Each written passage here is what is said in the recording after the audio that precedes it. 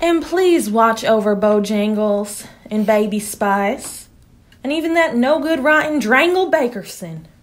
And please restore Granny's eyesight back to 2020 already. It's been 730 days since I first asked. Your productivity rate is getting shoddy.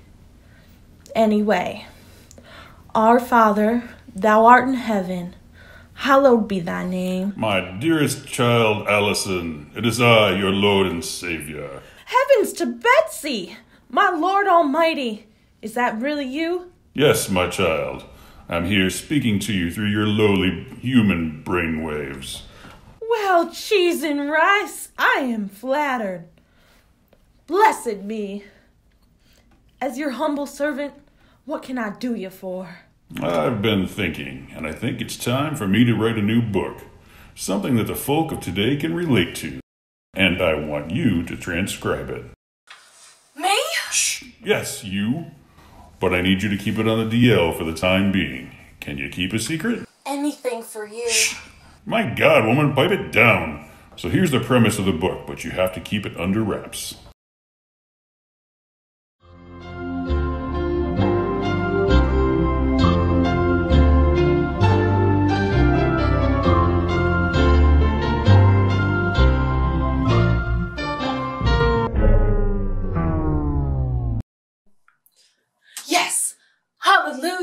The next great book is finished.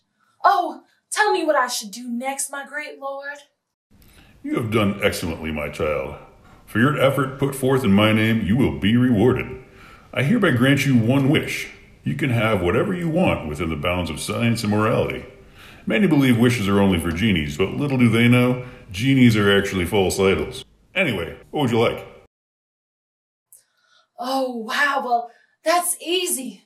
I'd like to meet your second great son, as outlined in the book. Will you let me? Of course. Leave it to you to choose something so pious. All right, just head to the beach and I will make sure he is there. Oh, thank you, Lord. I will cherish it forever in my soul. Amen and adios.